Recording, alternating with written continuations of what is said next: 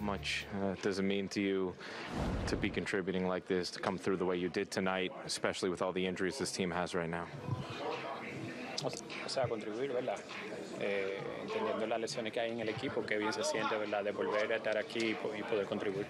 I mean, I feel happy to the opportunity, but I don't feel happy for the guy who have injury. But uh, I try to go to the play and see a good pitch to hit.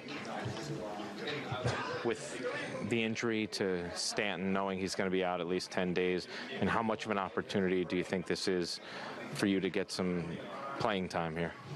I mean, it's tough, you know. BG is one of the best players here. Um, I don't want that, but I enjoy the opportunity the team give it to me right now. Lot of action out there in left field tonight. You look real comfortable. It's something Aaron Boone talked about as well. How how comfortable are you right now out in left field?